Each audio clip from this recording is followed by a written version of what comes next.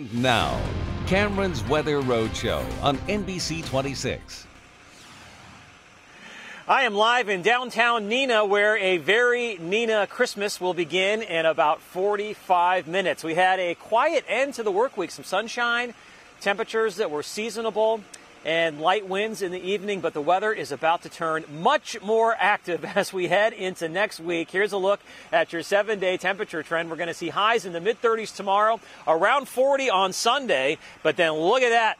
32 Monday, morning highs in the teens on Tuesday, and then falling, and then we will only be in the single digits for Wednesday. Right now, we are looking at temperatures across northeast Wisconsin that range from the upper teens across the north to the mid and upper 20s farther south and east. Right now, in downtown Appleton with mostly clear skies, the temperature is 27 degrees. We have northwest winds at around 3 miles per hour. In Green Bay, it is 25 with calm winds, and you can see just some high cloudiness now coming in from the north and west. That is in response to our next weather maker that's going to arrive later on this evening. Nothing going on across the area right now, but you can see some snow breaking out across Minnesota. That is going to be swinging in here later on tonight into tomorrow morning as another system makes its way across northern Minnesota, the UP, and northern Wisconsin during the next 8 to 12 hours. Skycast shows that area of snow pushing south and east into northern Wisconsin later on tonight. It looks like it's going to be a glancing blow, much like what we saw yesterday.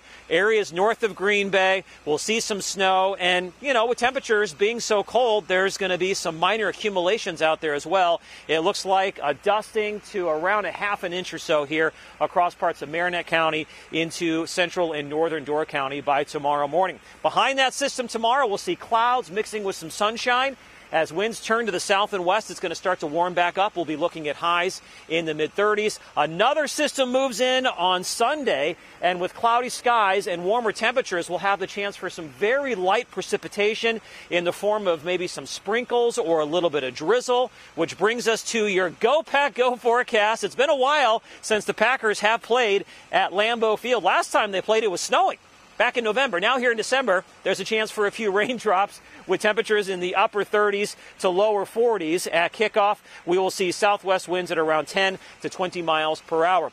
A more potent system then moves in on Monday. It looks like it's going to produce accumulating snow across the area as we head through Monday afternoon into Monday night. That'll taper off to some snow showers or flurries Tuesday morning. That's a how to ahead of that big, huge blast of cold air that's headed our way. Take a look at what was going on across northern Canada today.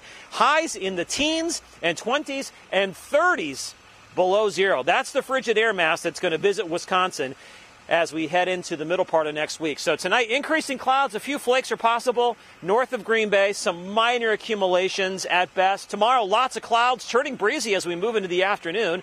High temperatures will be in the mid 30s. If you're heading to the Festival of Lights tomorrow night at Lambeau Field, look for conditions to be a bit breezy. Temperatures will be in the lower 30s. Once again, I will be emceeing that event starting at 6:30 in front of the atrium. On Sunday, clouds, chance for a sprinkle or a little drizzle. We'll see accumulating snow on Monday, morning highs in the teens on Tuesday, and then look at that on Wednesday. Highs only in the single digits. On the backside of this blast of cold air, we will have the chance for some more snow. So once again, we have a very Neenah Christmas. It starts at 6 o'clock. It goes until 8 just behind me here in Gateway uh, Plaza. They will be lighting the community Christmas tree at 6:15. That's after the Rudolph run, and then we have live mannequin displays along Wisconsin Avenue, Wisconsin Avenue here in downtown Neenah, uh, which should be pretty fun. Lots of activities tonight, some caroling, ice sculptures as well. So a fun time, and the weather's really not that bad, Stacy.